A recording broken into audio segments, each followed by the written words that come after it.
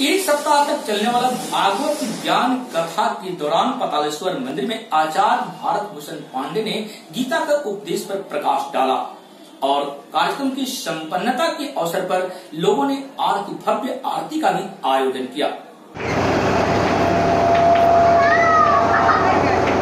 Yeah.